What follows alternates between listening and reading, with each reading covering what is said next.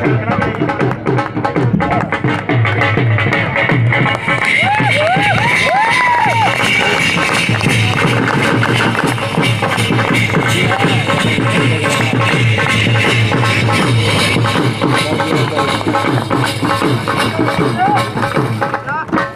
ਬਸ ਕਰਾਂ। ਉਹ ਬਸ ਨਹੀਂ ਕਰਨਾ। ਹੋਰ? ਮੇਰੇ ਸਿਰ ਨਾਲ ਸਿਰ ਲਾ ਦੇ। ਮੈਂ ਮੈਂ ਤੇਰਾ ਜੇਠ ਲੱਗਦਾ।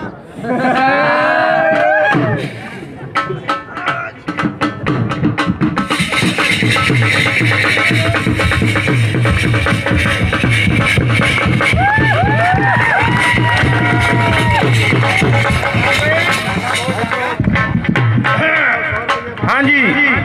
ਕਿਹੜਾ ਖਿਡਾਰੀ? ਲਾਠੀਆਂ ਵਾਲਾ ਨੰਬਰ ਖਿਡਾਰੀਆਂ ਨੇ। ਪੈਰਾਂ ਕਣੀ ਦੀ ਪਾ ਕੇ, ਸਿਰ ਕਣੀ ਦੀ ਪਾਸ ਕਰਨੀਆਂ। ਲਾਠੀਆਂ ਦਾ ਨੰਬਰ ਚੱਲ ਵੀ ਪਹਿਲਵਾਨਾ ਕਿਵੇਂ ਆ ਰਿਹਾ?